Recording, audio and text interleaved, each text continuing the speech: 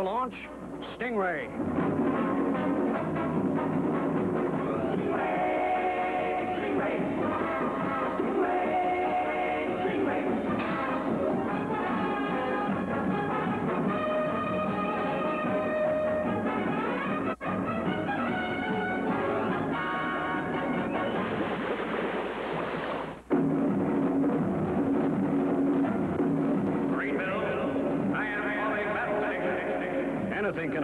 Next half hour.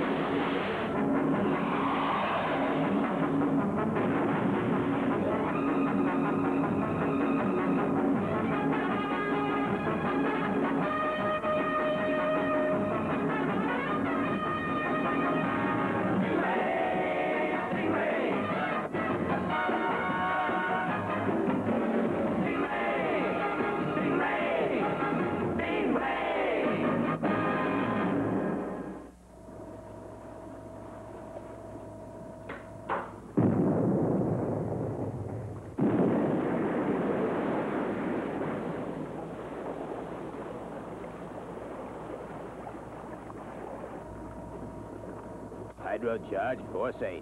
Maximum yield, sir. Okay, Laredo. Guess there's another few thousand tons of Cobalt 1-5 loosened from the reefs. Call up the drag sweepers and get the mineral aboard for processing. Hold it, Mr. Conson. I'm getting an underwater sounding.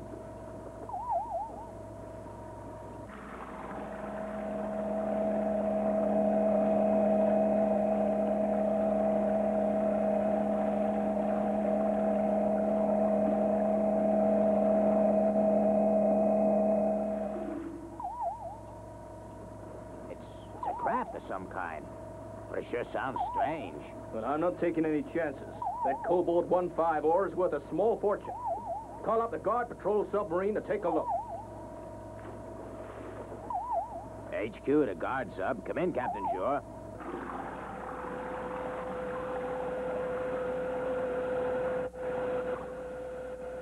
Shore to mining HQ. Okay, I've picked up the object signal. Commencing search of the area.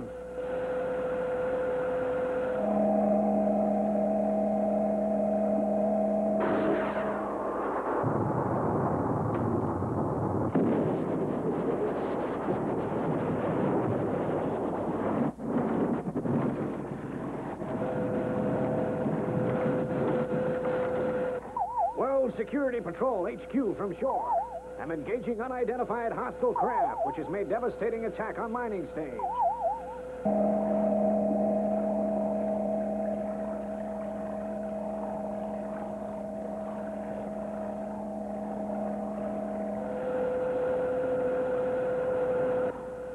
Blast! I've lost it.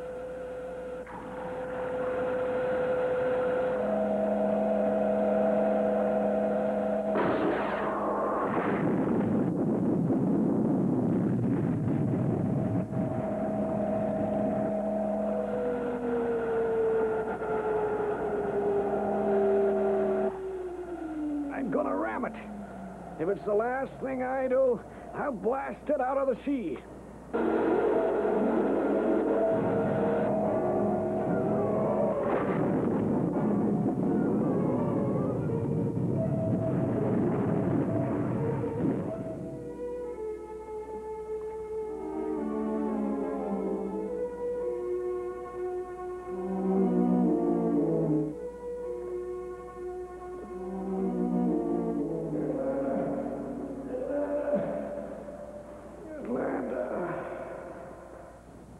Atlanta!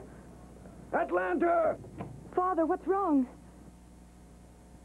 I guess I, I had a nightmare, Atlanta. I'm sorry I woke you.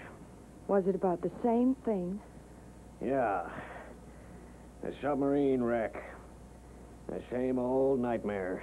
Father, wouldn't you like to talk about it to Troy? I could call him. I know he'd be only too happy to help. Help? I don't want any help. Now, now, let me get some sleep. But, Father... Forget it, Atlanta. I just don't want to talk about it.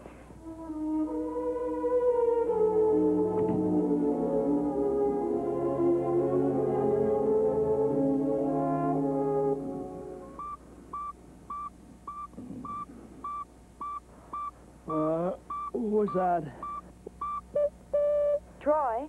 Sorry to disturb you, but this is important. Oh, that's okay, honey. What can I do for you?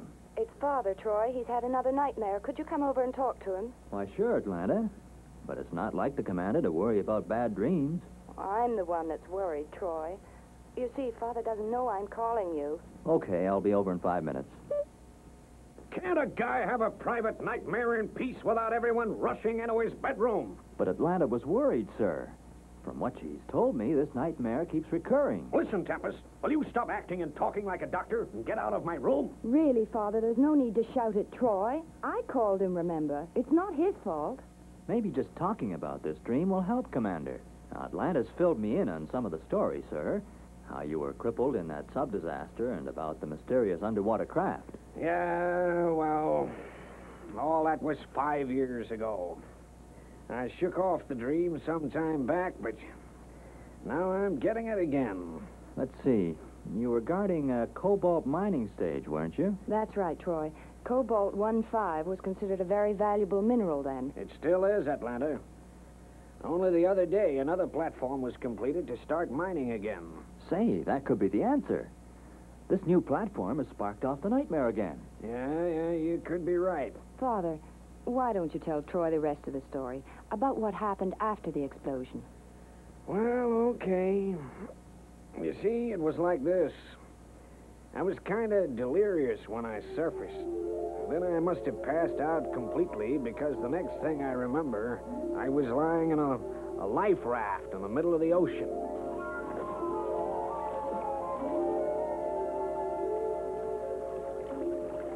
I tried to figure how I'd gotten there.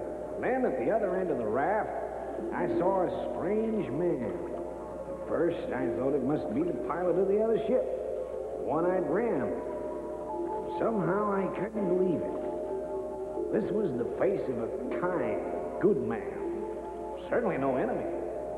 But soon, everything went hazy again, and I passed out.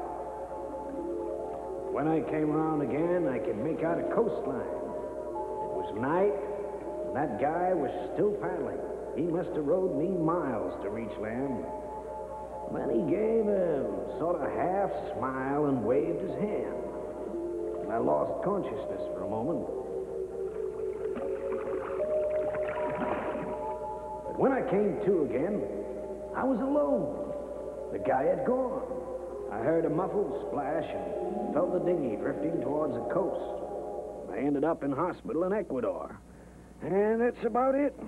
And you've no idea who the guy was? No, Troy. But one thing I do know he saved my life. Father and I talk about him sometimes. We call him the ghost of the sea. Are you absolutely sure, sir, that it wasn't that pilot? Of course, it's possible, Troy, but why save my life after trying to destroy it? I don't know, sir. I just don't know. Sir, Marina, you all set? Ready, Troy. Let's get underway. Release injector tubes. Release injector tubes. Tower from Stingray, ready for launch. Stingray, you are clear to go. Thanks, honey. Okay, release elevators. Release elevators.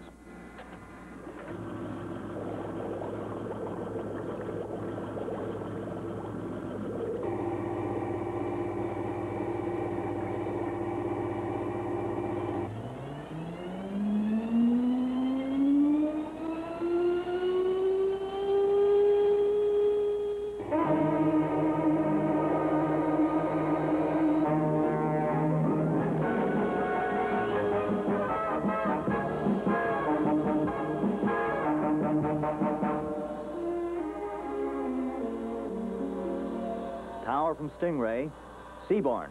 Rate one acceleration. Okay, Troy. Proceed at full speed to mining stage. Position south-southwest, 1300. Reference 8. Good luck with the ghost hunting. Thanks, Atlanta. Approaching mining stage, Troy. Okay, phones. How about it, Commander? Shall we surface? Yeah, let's take a look at the platform. I can't wait to see the new one they've built. Stand by to surface. Hold it, Troy.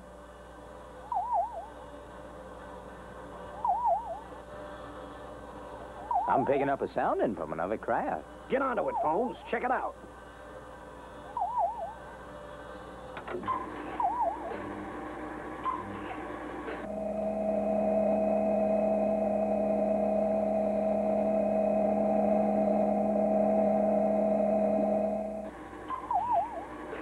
It's quite a small craft. Yeah, I have it. It's just out of range of our missiles. Green 80. But she's moving in fast.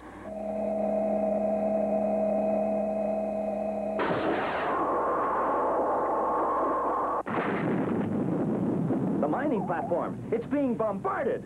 I don't believe it. I just don't believe it. It's the nightmare all over again. Not quite, Commander. This is really happening, and Stingray's around this time.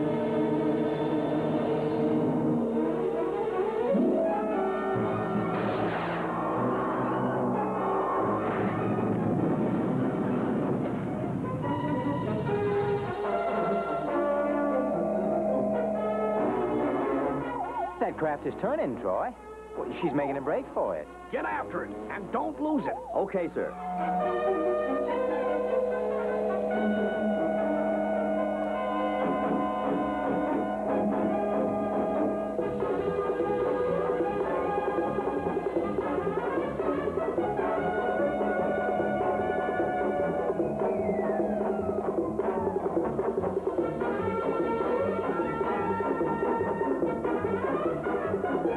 She's waiting beyond the valley.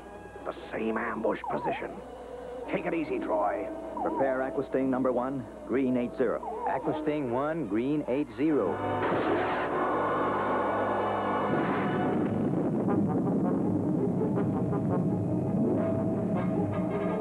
That's moved her, Troy.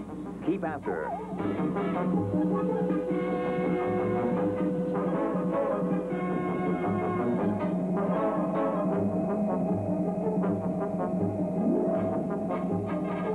Aquasting 2, red 129. Aquasting 2, red 129. We got her! Yeah! But she's still going. She's heading for that cave.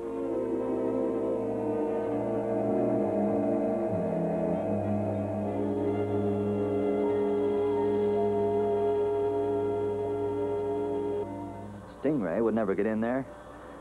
I'll have to follow in my diving gear. Phones drop Stingray on the ocean floor. Okay, so. Better take Marina, Troy. This part of the ocean is littered with giant crawling clams. Look, there's one.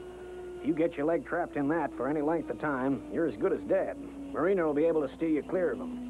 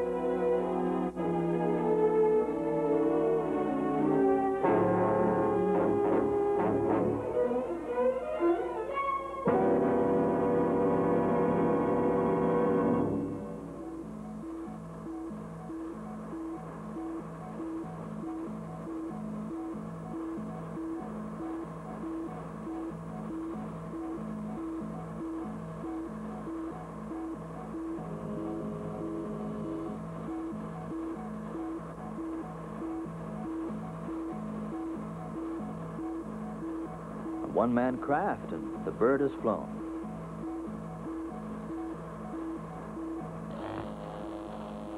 Get out of here fast, Marina. This craft's going to explode.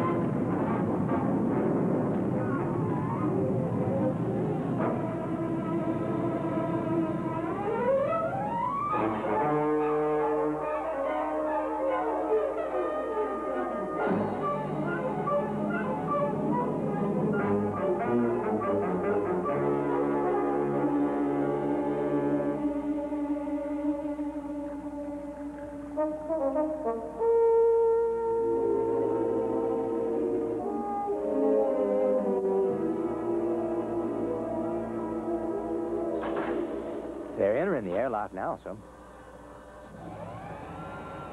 Gee, that was close. What happened, Troy? We heard the explosion. Oh, the crewman got out before we could catch him. There must be another exit to that cave. Okay, we'll search the area. Right.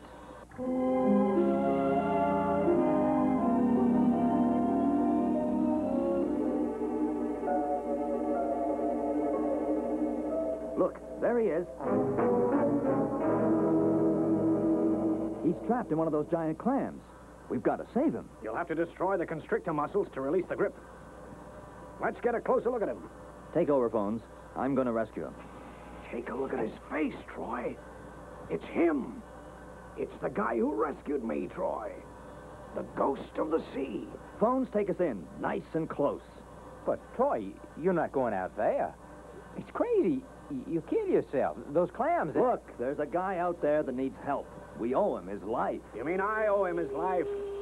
I'm only sorry I gotta leave this to you, Troy. But good luck, and thanks.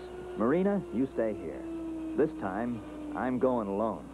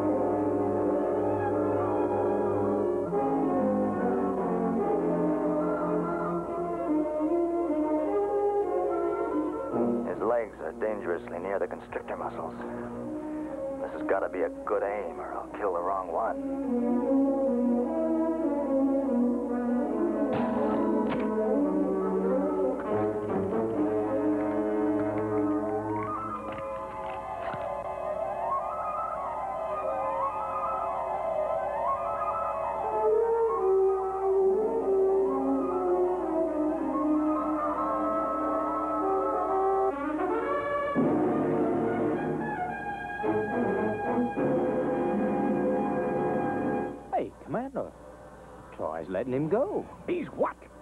What's the matter with that guy? Has he gone crazy? Captain Troy Tempest, return to Stingray immediately. I want an explanation, and it better be good. I went out to rescue this man. You would have liked to have done this yourself, so the decision I made was for you. If it was wrong, I take full responsibility. If you treat people right, it usually pays off. Troy, I'm picking up a craft on sound scan. Green 90. Are you thinking what I'm thinking? I am, and you'd better get to the controls, but fast. What were you saying about treating people right? See what happens when you give a guy a break? I can see him. It looks like your friend has returned in another craft. Fire Sting Missile 1, Green 75. Hold it, Troy. The enemy craft is signaling an international code. Well, let's see. It says, regret attacks on mining vessels. Wish to establish peaceful relationship with Terranians to whom I owe my life. Well, Troy, looks like we made the right decision after all. Yep, I guess we did.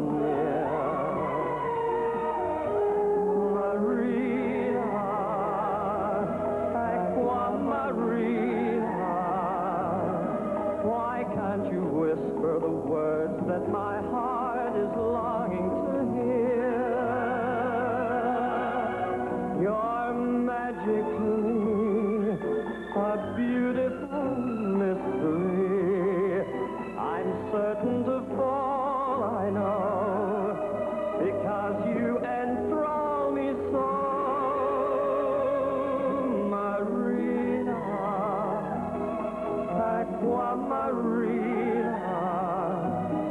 Why don't you say that you'll always stay close to my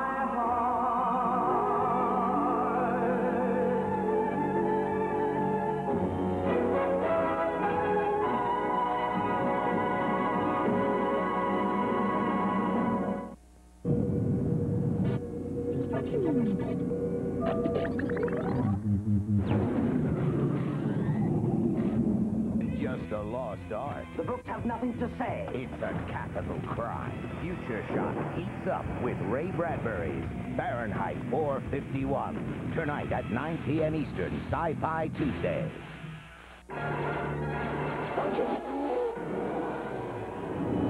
See the entire Star Wars trilogy in full theatrical widescreen format, hosted by Billy Dee Williams. Plus, stay tuned for special behind-the-scenes looks at the making of each astonishing chapter. Impressive. You can't see it anywhere else. Don't miss Star Wars, the ultimate experience. 7 p.m. Eastern, Sci-Fi Friday.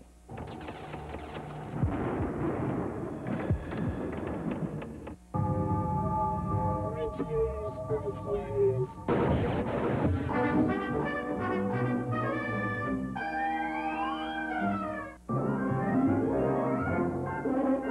had to do a, um, I hesitate to even say this, but a ballet in a birdcage.